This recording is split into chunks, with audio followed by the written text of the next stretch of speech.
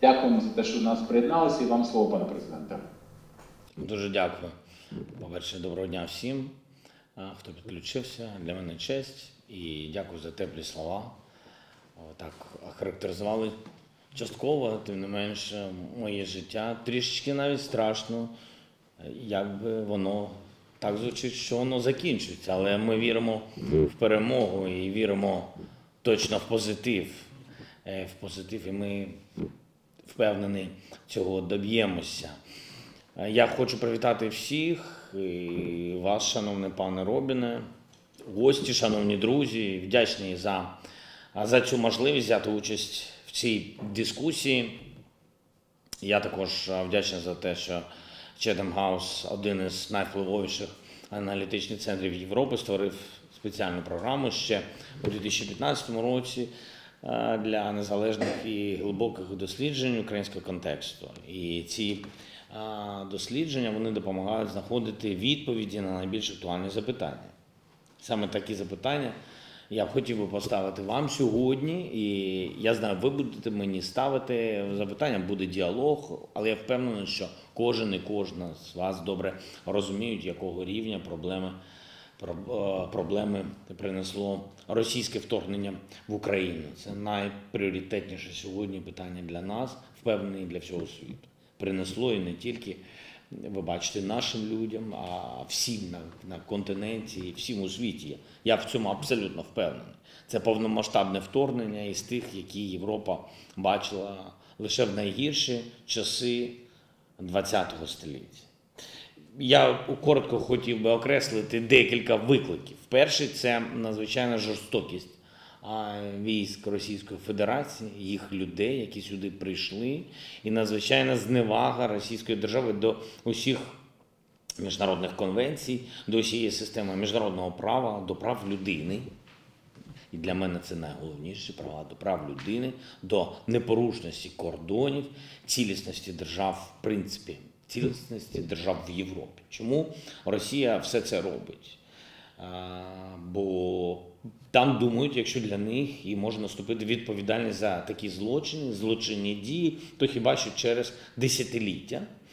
Е, Вони просто не вірять, що міжнародна спільнота здатна притягнути до відповідальності за воєнні злочини тих, хто прикривається силою ядерної держави. І другий виклик це власне ядерний шантаж, вперше за багато десятиліть, абсолютно відвертий. Російські державні пропагандисти на їх медійних ресурсах е, вираховують, скільки часу потрібно, щоб ядерні ракети ударили по столицях Європи.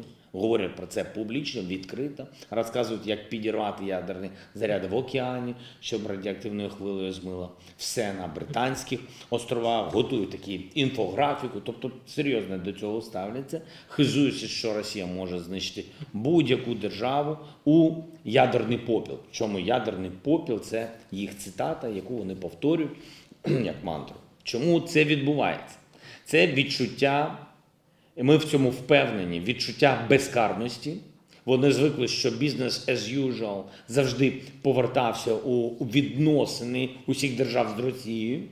І навіть зараз в Європі є політики, які не соромляться зв'язків з російською державою після усього, що армія Росії наробила в Україні. Третій виклик світ знаходиться за кілька кроків від політичного хаосу у десятків держав, які можна стати наслідком продовольчої інфляційної кризи, шантажуючи Європу задля запуску газопроводу Північний Потік 2 в минулому році. Росія спровокувала цінову кризу в Європі. Газпром свідомо не давав на ринок потрібний обсяг газу, щоб покрити дефіцит. Як наслідок всього цього газові ціни в Європі досягли максимуму, причому історичного максимуму. Це вдарило по всім без виключення європейцям. Зараз, як елемент повномасштабної війни проти України, Росія блокує наші порти, які вона захопила. До чого це призводить? Глобальний ринок залишається без достатніх поставок з України деяких ключових видів продукції. Це те, що у нас є, і в чому пріоритет для світу зерно, соняшникова олія, це кукурудза, інші аграрні товари. Які е, наслідки ми бачимо, але впевнений, ми всього не бачимо, тому що тут мало, мало аналітики. Я думаю, ми все це ще побачимо. У деяких країнах дефіцит соняшникової олії, в інших країнах гальмують ланцюжки агровиробництва, яке пов'язане з нашими поставками. Ще в інших країнах очікується дефіцит базових продуктів харчування. Все це разом створює тиск на ціни на півночі Африки, на Близькому Сході, в країнах Азії. А далі це е, зачепить інші регіони світу і постраждають найбідніші. Хто страждає завжди? Найбідніші. Ми впевнені, що постраждає і середній клас. Очевидно, що політичні наслідки цього можуть бути небезпечними. Ось про що я коли кажу політичний хаос. Він це одна із складових харчування, харчовий дефіцит, харчова безпека. Так що, шановні е, присутні, війна Росії, ем, ви знаєте, проти нашої держави, яка багатьом на початку здавалася лише двосторонньою подією. Е, Хтось навіть посміхався, хтось казав, що це просто конфлікт. Росія каже, що це якась там військова операція. Зараз ми всі вже оцінюємо по-іншому, більш серйозно. Але сьогодні вже 72-й день повномасштабної війни, і ми поки не бачимо її закінчення. Не бачимо і не відчуваємо бажання з російської сторони. Як не бачимо і вичерпних відповідей на всі створені Росією загрози. Що ми пропонуємо? Не було жодного дня з 24 лютого, щоб я і уся наша команда не проводили переговори для отримання необхідної зброї для погодження необхідних санкцій е, проти Росії, для організації необхідної співпраці, щоб фіксувати і розслідувати воєнні злочини. Не було жодного дня від початку жорстокої блокади Маріуполя російською армією. Е, Це один з прикладів, щоб ми не намагались знайти дипломатичне, саме дипломатичне рішення для порятунку людей і організації гуманітарних коридорів щодо цього порятунку. Ми контактуємо з усіма, хто може надати Україні фінансову підтримку. Ми вже почали готувати масштабний план відновлення для України, оскільки не сумніваємось у тому, що нам все ж таки вдасться відстояти нашу незалежність.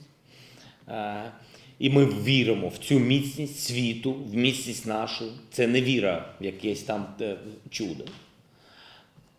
Здоровий глузд говорить, що реагування світу на такі дії агресора, які дозволяє собі зараз Росія, повинно бути миттєвим.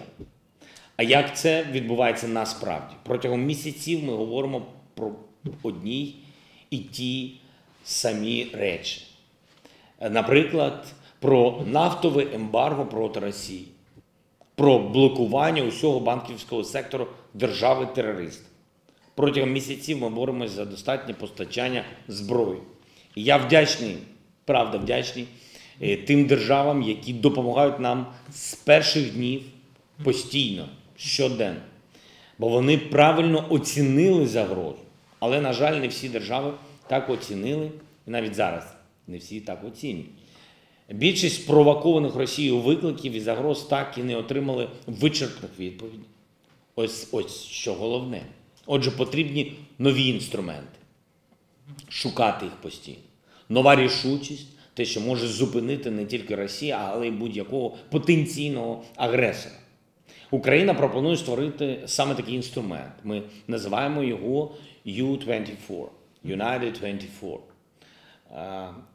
Оновлюючи глобальну систему безпеки, маємо створити можливості, щоб превентивно або принаймні за 24 години зупинити будь-яку агресію. Або за 24 години надати таку допомогу жертві агресії, яка відновить мир. Або якщо йдеться не про війну, а про стихійне лихо чи будь-який соціальний виклад, за 24 години світове співтовариство має надати країні е, чи окремому регіону всю, всю необхідну допомогу для порятунку людей. Завдяки такій а, глобальній системі реагування ми зможемо гарантувати, що ніколи знову мільйони людей не, опині, не опиняться під загрозою фізичного, саме фізичного знищення або а, загрози депортації або голоду, знищення. Тому ось конкретні питання, на які е, треба, е, на мою думку, знаходити відповіді і політикам, і експертам, і суспільству.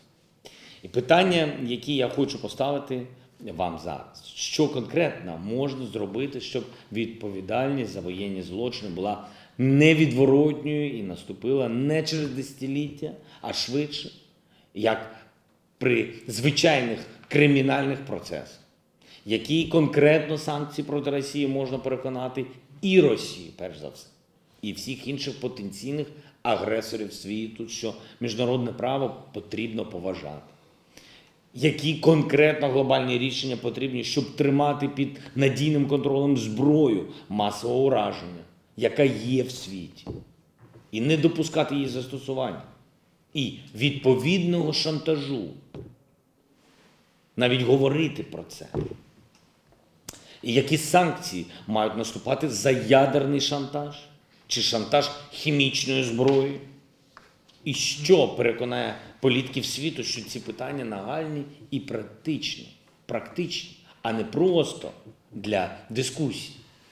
Я сподіваюся, ви запропонуєте ваші думки, це, це, це відповіді на ці запитання, це ваш досвід. Бо, е, бо відповіді об'єктивно нам всім, нам всім потрібні, е, світу потрібні, впевнений, кожній людині, яка нас дивляться зараз, і яка буде дивитися, яка кожного дня сама себе запитує. І я впевнений, що вагомою частиною ваших відповідей може стати запропонований е, нами інструмент Ю-24. Це як, як варіант. Ми про це говоримо, про нашу ініціативу, тому що я вважаю, що чим більше ініціатив, це говорить, що більше людей розуміють про глобальність цих викликів і глобальність е, цих відповідей. Я дуже вам дякую за увагу. Слава Україні! Thank you very much, President Zelensky. Дякуємо, пане президенте, за те, що виклали свої думки про те, що ви бачите. І дякую за те, що ви запропонували нам питання. Я можу сказати, що тепер у нас така буде обрада, як е, Читамгаузівський семінар звичайний. Члени нашої громади не можуть терпіти просто вислуховування. Вони хочуть брати участь у діалозі, але всі мають пропонувати якісь е, відповіді. Хотів би перед тим сказати три речі: як уникнути ядерного шантажу? Ми його не приймаємо. Ми ні за яких обставин не приймаємо такого шантажу. І оце е, щось таке неприйнятне. Ось наша позиція. І як зробити так, е, щоб е, така агресія не минулася безкарно? Ця війна агресивна, і це не просто агресивна поведінка, а це не зловживання чи наduживання, це війна. Без війни немає воєнних злочинів. І ми мали декілька зустрічей, говорили про те, що таке агресивна війна, як її покарати судовно. І, е, на жаль, швидко в міжнародному праві майже ніколи не буває.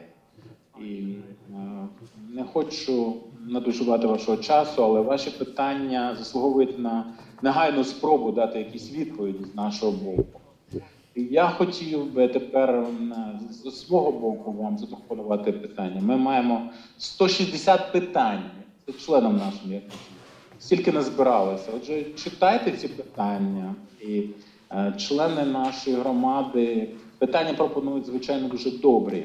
І ось е, якщо подумати дуже добре, пильно, ви можете проголосувати за ті питання, що вам здається найактуальнішими, щоб ми до них зверталися найперше, і щоб можна було е, вкластися в межі нашого часу. Пане президенте Зеленський, е, отже, е, можна сказати, що більша частина світу була заскочена, заскочена опором українським, тим, як українці опиралися цій агресії, негайно почали боронитися. Чи ви були здив... чи ви здивовані були, е, коли е, в Харкові на Донбасі люди почали битися, мери, е, сільські старости повели своїх людей на боротьбу і опиралися. Ви здивувалися, що такий опір виник і така єдність в українському суспільстві перед лицем цієї агресії? Перше питання. А, чи я здивувався про свої відчуття і, і, і, і який у нас народ, я відповім з задоволенням на ваше питання. Тому що завжди приємно відповідати те, в чому ти знаєшся дуже добре. І я точно живий свідок, е, як наші люди реагують і зреагували на агресію Росії. Я хочу тільки швидко два сигнали, тому що ви сказали, що у нас діалог. І я хотів би відреагувати на те, що ви сказали щодо ядерного шантажу. Ви сказали, що ми його не приймаємо.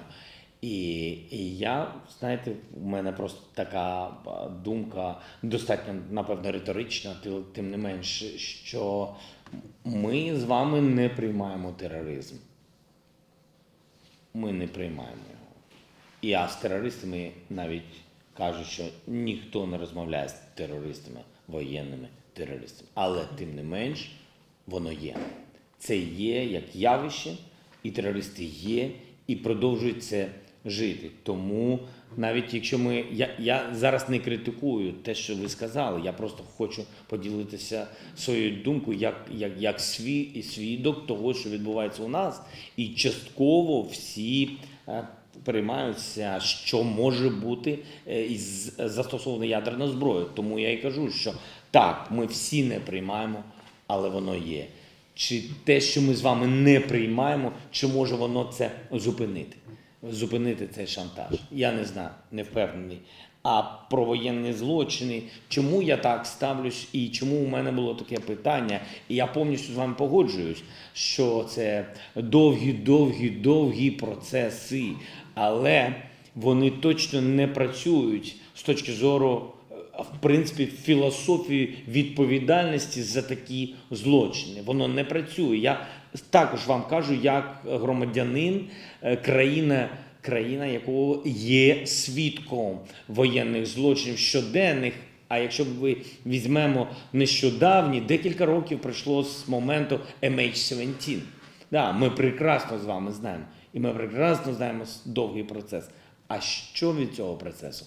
Чи легше я з людям, е, чиї близькі загинули? Ні. Вони ненавидять весь світ і ненавидять в цілому будь-які процеси судові, і вони ненавидять, е, розумієте, ненавидять. Я, я бачив цих людей, і вони ненавидять життя. І тому кожного разу і з кожним роком ненавидять це життя все більше і більше, тому кожного разу їм все страшніше знати, що це, цей процес він безкінечний. Ось, ось про що я. Про що я коли говорю, що треба змінювати цю структуру і знаходити відповіді. Щодо здивування і вашого запитання, Робіне, я скажу вам, ми я напевно зможу правильно сказати вам про це після закінчення війни. Я не думаю, що зараз моя е, відповідь буде, буде е, адекватна, тому що коли все це почалось, наша задача була об'єднатися, зміцнитись, і тому що я розумів, що тільки такий процес, такий кулак великий об'єднаний кулак всього народу може дати ві- відсіч російській е, техніці, чи як називають російська, російська військова машина, тому що це машина, і, і люди голіруч по-різному зупиняли всі ці машини, всю цю техніку в селах і тощо. Тому я не е, моя відповідь може бути банальна, і я можу сказати, я завжди був впевнений в нашому народі в міцності, але я хочу бути, а бути справедливим. Я думаю, що що громадяни, я нікому не бажаю, але б якщо б в ту чи іншу державу зайшов, зайшла, зайш, зайшли б російські військові, всі б, всі б, я думаю, захищали би свою сім'ю, свою домівку і свою державу. Я думаю, що так би кожна людина адекватно поступала. Тому я не здивований. Е, А я не здивований. Я, я впевнений, що нормальні люди саме, саме, так і, саме так і роблять. І я вдячний, що у нас така кількість таких, а, таких міцних, нормальних, міцних, відповідальних громадян і дуже сміливих, як виявилось.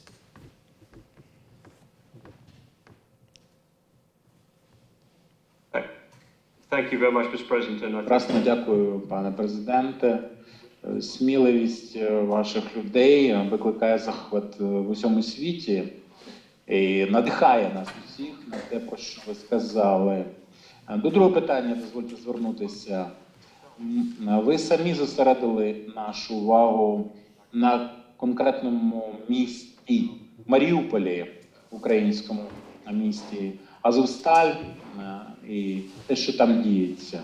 Ось таке питання: чи можна ще якось зупинити росіян, не дати їм захопити Маріуполя? Це Джин Волес питає нам нас із Associated Press, ем, щоб вони не захопили остаточно Маріуполя. Щось можна ще зробити, ще не пізно. І друге, якщо вони захоплять весь Маріуполь, е, як це змінить світ? Е, Чи яким чином українці, я думаю, українські борці, вояки вже перемогли, хоч так, хоч так. Як ви гадаєте? Я в кінці не, не, не зрозумів, може через Чи вони в кожному, кожному разі перемогли вже, хоч би і візьмуть, візьмуть Маріуполя, а вони вже і так перемогли. Чи не вважаєте ви, що подвиг уже переміг, навіть якщо росіяни візьмуть Маріуполь? А, давайте спочатку про те, чи можна, чи можна щось зробити для Маріуполя, а потім з другою частиною, яку я, чесно кажучи, не, не, зовсім зрозумів зміст. Якщо можна, ми потім проговоримо цей зміст. Важливо відповідати е, на питання, повністю його розуміючи. Е, Щодо Маріуполя, один із гарячіших моментів і один із найскладніших моментів е, цієї війни. В- В чому це приклад саме катування? Тобто там навмисна блокада російськими військами, там навмисно не дають їсти, не дають завести їжу будь-кому, до речі, будь-кому і міжнародним організаціям гуманітарним. Вони так і не доїхали туди щодо постачання їжі, так і води довгий довгий час.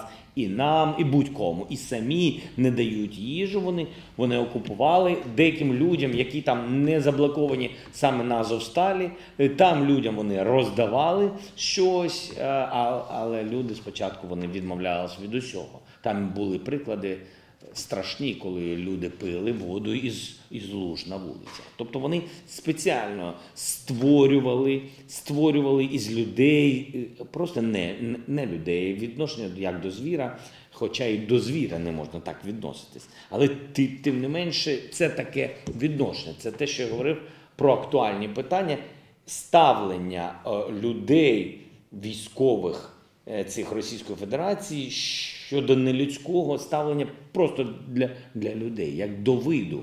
І ось це вражає в цій війні. Просто вражає жорстокість, і це, це принизливе ставлення і катування. Тобто супроводження, супроводження смерті е, не через війну, тобто це не зовсім військовий процес, це супроводження тим чи іншим катуванням. Тобто це такий конкретний тероризм і ненависть. І ми можемо проговорити детально, чому це так відбувається. Я просто не впевнений, ви мене налякали спочатку 160 запитань, і я не розумію. Я зараз відповідаю на друге, тому я боюсь дуже довго відповідати. Але я вам хочу сказати, що я точно розумію, хто несе відповідальність за не, не тільки за війну, а за це жорстоке ставлення. І відповідальність саме цю, саме це катування несуть не військові. Тобто їх військові і понесуть відповідальність. І буде трибунал, так все воно і буде за вбивства і за смерті і закатування. А ось чому така жорстокість? Несуть відповідальність інформаційна машина Російської Федерації. Вони розвили, змогли розвити таку ненависть ще до початку повномасштабної війни. Вони цим займались довгі, довгі, довгі роки. І ось вам результат катування. Тобто людина може від сусіда добросусідства, від е, довгих часів спільної історії, від сімей, які були багато сімей на і є наполовину російсько-українські, як тут на нашій території, так і на території Російської Федерації, змішані сім'ї через близькість географічну і історичну. І вони це призвели до оцього катування. І це інформаційна машина. Я думаю, що Геббельс дитина. Дитина в порівнянні з дорослими людьми з Кремля. І це найстрашніше, що показує результат цієї війни. Це найстрашніше, що зробив, зробила людина. Тобто без пострілів, завдяки інформаційній машині полювали на націю і підготовили цей ґрунт. Тому що, уявіть собі, там же воюють 18 років, 20 років люди. Тобто, а спочаток війни був 8 років тому. Тобто цим людям е, прорахувати не складно. Цим людям було 10-12 людей. Тобто це навчання. Тобто ми говоримо про інформаційну політику не тільки, не тільки в засобах масової інформації. Тобто це школа, це університети, це училище. Тобто це велика пропаганда, пропагандистська машина. Ось що зроблено. І я вважаю, що а, з цим треба буде вирішувати, тому що ви можете катувати через суд. Або, або не катувати, а дати вироки за катування через суд тощо, але ви не зможете людям вимити мозок, тому що е, е, це велика проблема е, щодо результату цієї пропаганди. Ось що. Тому що тепер щодо. Маріуполя, і це велика проблема щодо Маріуполя і в цілому по всій державі принизливе ставлення. Е, Маріуполь можна розблокувати було щоденно, якщо б у нас була відповідна зброя, і це крапка. Більш немає варіантів. На сьогодні все знаходиться в такому стані, коли завдяки нам, Червоному Христу, ООН, ми нарешті якимось чином знайшли формат, як вивозити, і Росія погодилась, як вивозити з заблокованого заводу мирних людей. Ви також повинні знати, що там відбувалося. Мирні люди виходили з заводу на вулицю і снарядом могло їм відірвати просто голову. Тобто ті люди полювали на будь-кого. І на військових, і на цивільних. Це страшна історія. І історія колись всі ці страхи розбере по деталям. Це, да, да, будь ласка, Робіне, да, да, да. Um, just the second part of the question, I know this is so important, and I, I hate having to, to break the, to, I hate having to break. Питання. Не, пер- не хочеться перебивати вам. Ні, ні, ні, але, так краще, да, будь ласка. Але е, е, can Yes, yes, please. Uh, sorry, Вибачте, if, якщо Маріуполь упаде, чи це змінить форму конфлікту? Е, Чи це буде такий е, сигнал для російського війська піти на північ? Це щось змінить. І якщо далі битимуться українці, вояки, які будуть наслідки? І які будуть наслідки, якщо впаде Маріуполь? ви повинні знати. Маріуполь не впаде не через те, що я хочу говорити зараз про героїзм цих людей, героїзм нашої армії і людей, а нема чому впадати. Маріуполь зруйнований вщент. Не існує. Не існує там. Вони вбили все живе. І є залишок заблокованих людей на заводі Азовсталь на те, що на тому, що залишилось від цього заводу. І люди, як тільки можна, вони вивозяться. І я розумію, що Росія хоче там провести, може, парад на 9 травня. Їх, їх цікавить продовження того, що я вам сказав, продовження цієї інформаційної машини. І це ще, ще, ще один крок в цьому напрямку. І Бог з ними, хоча Бога з ними точно немає. І ось, ось, ось, ось що буде. Тільки від зброї залежало розблокування. І надалі розблокування такого регіону залежить від зброї, відповідної зброї. І якщо вони вб'ють людей, яких зараз гуманітарно можна обміняти, якщо це військові, або відпустити, якщо це цивільні, або допомогти, якщо це поранені, неважливо військові або цивільні. Так ось, якщо вони знищать, з ними нема про що говорити і на дипломатичному рівні. Ось як це можна змінити е, на е, остаточно все. А якщо говорити в військовому плані, все одно вони підуть далі і будуть йти далі, далі і далі. Куди їх? Куди їх? Допустимо, ми і світ, тому що світ своїми кроками повинен бути цією стіною, стіною, яка допомагає нам, не стіною між нами і між Україною і Західним світом. Ні, а стіною між нами і Росією. Ось, ось важливі речі. Thank, you very much for that. Дякую, пане президенте. Я хотів би звернутися до питання від BBC. Френк Гарднер питає. Це питання відбиває те, що було в багатьох попередніх наших питаннях. Який мінімум ви, як президент е, від імені свого народу, можете прийняти в мирній угоді з Росією? Чи можете ви прийняти повернення до стану 23 лютого? Чи ви на такому мінімумі погодитеся? Ну, По-перше, я хочу, щоб ми розуміли, мене обирав е, народ України як президента України, а не як президенти міні-України.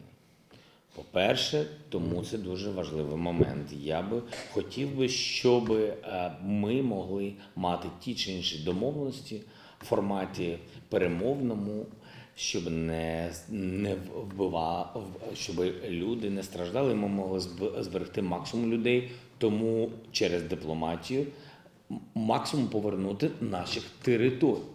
Тому е, щодо мінімуму, я вважаю, що е, крок мінімальний щодо перед тим, як закінчити всю війну, мінімальний крок він є. Щоб нам нормально почати говорити, якщо можна в цілому використовувати слова нормально, то якщо розблокувати, скажімо так, е, дипломатичний формат відносин для зупинення війни між Україною і Росією, той крок і повинен бути від, від, відновити ситуацію, яка була до повномасштабного вторгнення. Тут ви абсолютно праві. До 24 числа їм треба відійти на ті тимчасові е, контактні лінії або розміжувальні лінії і відійти туди військами. Тоді можна говорити повноцінно. Я так вважаю. І Хоча, щоб їм відійти, їм також прийдеться говорити. І, і нам. І тому я, я розумію і ще раз говорю, що поки ще, незважаючи, що вони руйнують всі наші мости, але все ж таки я вважаю, що не всі мости для цього зруйновані.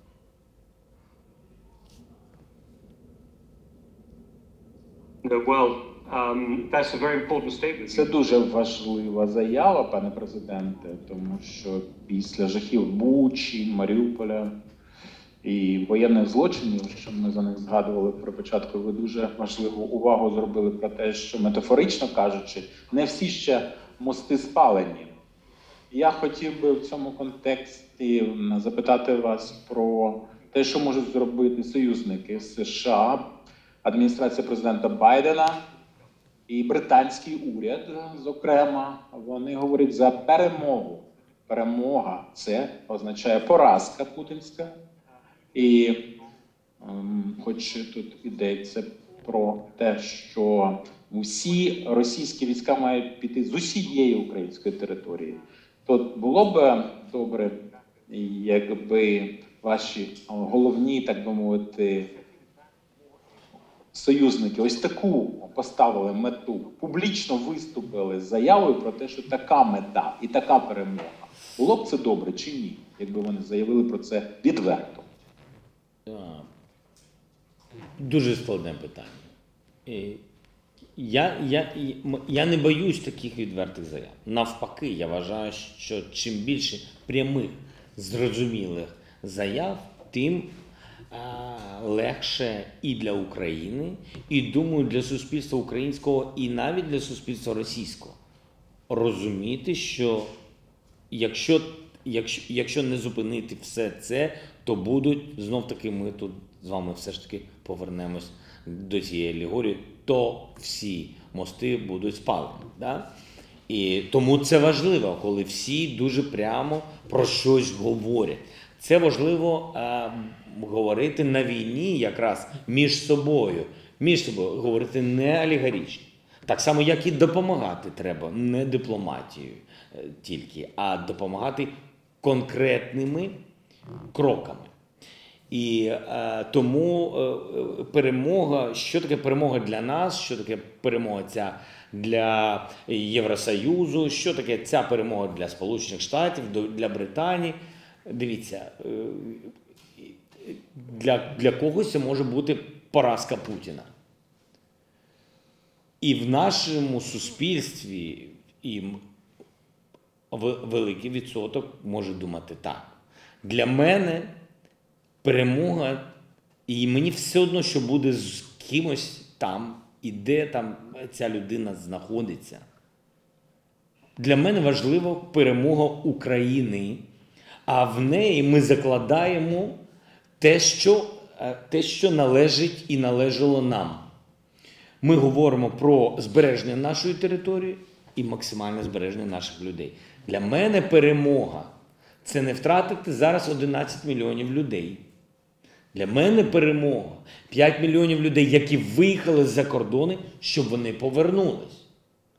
Я про це думаю, тому що для мене перемога це зробити принаймні економічно країну такою, якою вона була, була до цієї страшної війни, як початок.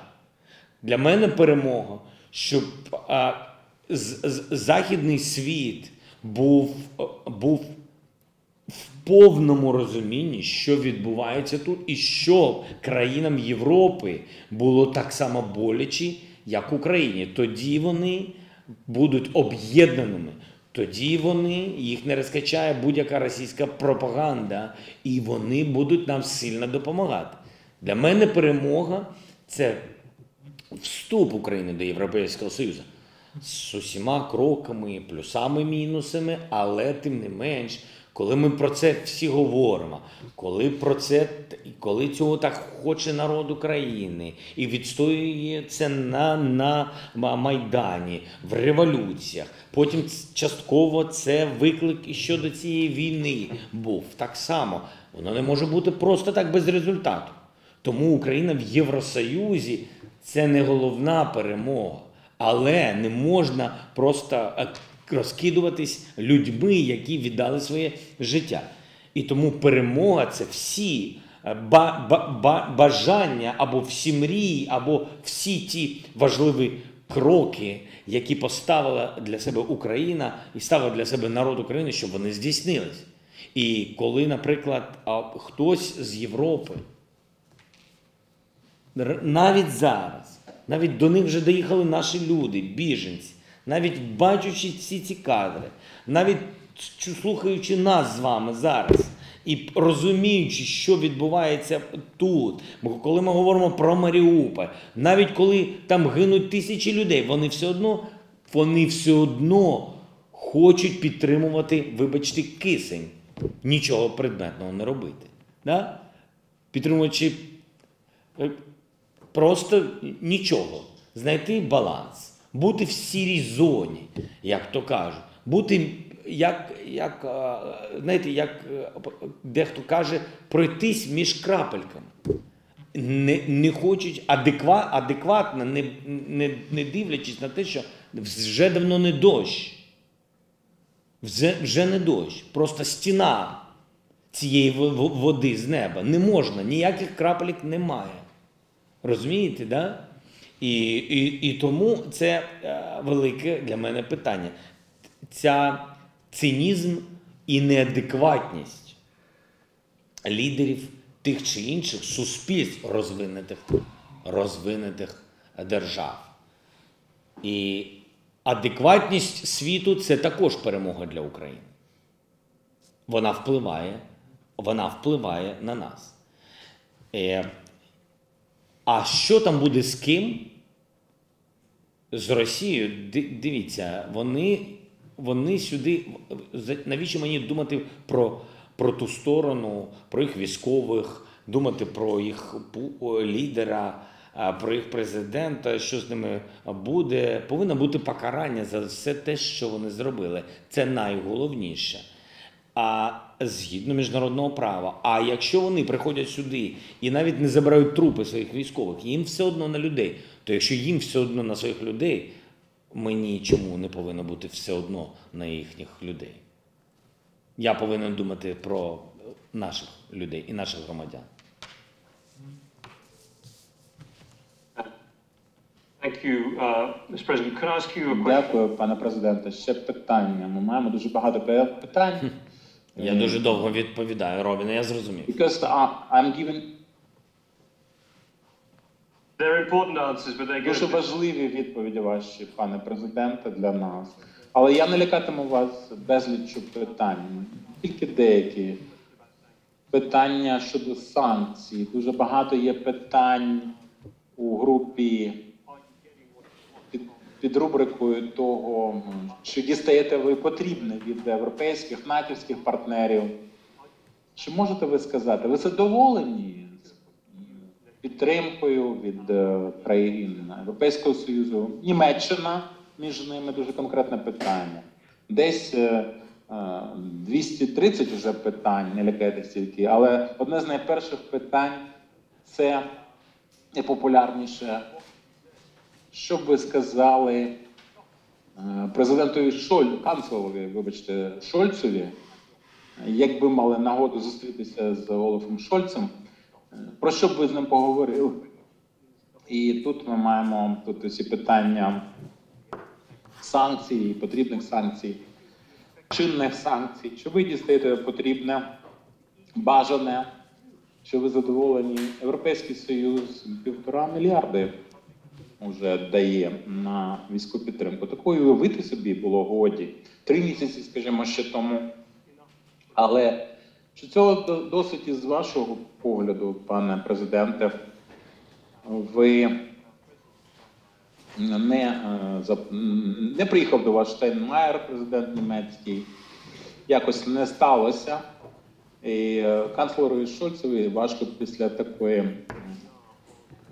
е, ну, поразки з боку президента України приїхати до вас. Але що ви сказали за санкції? Ем, дивіться, да, дивіться, що стосується санкцій, Е, я вважаю найголовніше у, у, будь-як, у, у будь-яких кроках. А, і кроки є за або кроки є проти. І вони повинні бути прозорі і чесні. Знов таки, не, не, не, треба трішечки бути злим і трішечки добрим. Правою рукою вводити санкції, лівою рукою підписувати нові контракти з Росією. Це не підходить, точно не в часи війни. Це лицемірство. Тому щодо санкцій, санкції повинні бути такими, щоб після них не оновлювати ті самі санкції. Якщо ви запроваджуєте систему SWIFT, санкцій щодо SWIFT, якщо ви це робите про- проти банківської системи Російської Федерації, якщо ви проти тих чи інших фінансових операцій, запроваджуйте, відключайте банківську систему Російської Федерації. І крапка. Тут ми можемо, а це ми не можемо. з цими банками е, якась країна Європи має ті чи інші контракти, то давайте тут не поки що не запроваджувати. А у нашій кра- а що на це скажуть Німеччина, а що Угорщина, а як подивляться іще хтось? Дивіться, треба дивитись в очі правді. В цьому також є лицемірство і в цьому також є бізнес. Тому чи я задоволений санкці- санкціями в цілому, що доставлення в цілому Євросоюзу, Сполучених Штатів, Британії, в цілому, нарешті, ми вдячні за санкційну політику. Вважаю, вона в цілому була помилкова і нас не почули, і превентивно не застосували санкції. Зараз за, перед, перед тим, що Росія пішла, нічого їх би нічого не сталося. От, от нічого б не сталося. І навіть якщо б вони пішли, вже б санкції діяли. Вже б діяли. Тобто я вважаю, що це помилка. Друге, ми вдячні за ті санкції потужні, які були запроваджені.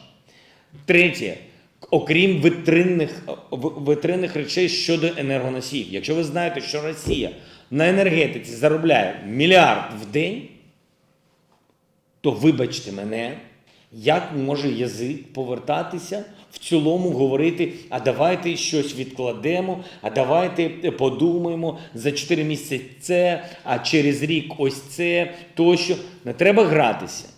Якщо ви розумієте, що ви не можете без цього енергоносія, скажіть, що ви зможете через два місяці, домовтесь, не треба робити виключень щодо одних країн.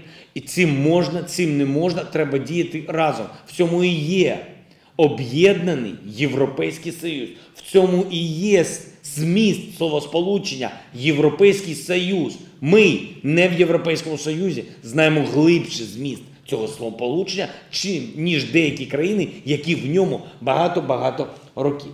Е, Тому щодо енер- енергоносіїв, все одно закінчиться тим, що треба зробити повністю ембарго на їх енергоносії. Буде складно всім, але буде складно всім вдома. І всі сім'ї європейські будуть живі, на відміну від наших. Але якщо ви це не будете робити, європейські деякі лідери, ви потім зрозумієте, коли на ваших кордонах будуть російські війська. А коли перелетить перша ракета, як це було у нас, і коли у вас їх ракети будуть віднімати кінцівки дітей і людей, ви зрозумієте, що Північний потік 2, 3, да хай вони згорять хоч Північний потік 100, вони не коштують ціни життя людей. На жаль, на жаль, поки горе не приходить додому, воно стукає, і ти не віриш, поки ти двері не відкриєш, воно не зайде, не вижить твою сім'ю, не випалить твою сім'ю, ти не розумієш. На жаль, е, така складова вона є у, у Європі, і, і, і, на жаль, вона є. Що стосується е, Ук- е, Росії, нехай всі звернуть увагу, все, про що вони говорять, потім так або частково вони роблять всі їх погрози. Тому, коли їх політики кажуть, ми дійдемо до Германії, це є їх думки, це є їх мрії. І коли буде послаблений Євросоюз, і коли, не дай Бог, впаде Україна, вони прийдуть до Німеччини. Питання років. Їх покоління через ту інформаційну політику, з якою ми почали, будуть до цього готові. І повірте мені, виправдають всі свої ганебні кроки. Щодо е, пана Шольца, я вважаю, що пан Шольц е, для нього потрібно приїхати. Я його запрошую і неодноразово запрошую приїхати в Україну. Найпотужніший політичний крок, розумний, мені так здається, це була б зустріч 9 травня в Києві. Не хочу пояснювати, чому. Я думаю, що у вас суспільство розумне і воно зрозуміє, чому. Іноді в історії потрібно робити ті чи інші кроки для об'єднання, навіть якщо є якийсь холод між е, в стосунках тих чи інших. Але я вчора, наприклад, розмовляв з президентом Штанмаєром, і я запрошував е, і його, і сказав, передайте канцлеру. Ми, ми Україна відкрита. А сьогодні, коли у нас війна, у нас двері не відкриті, у нас немає дверей. Просто ми відкриті. Заходьте, підтримуйте нас. Щодо е, санкцій е, е, в цілому, коли я так вважаю, якщо залізна завіса, яку сама зробила Росія і робить крок за кроком, як це колись зробив Радянський Союз, то я вважаю, не треба їм заважати.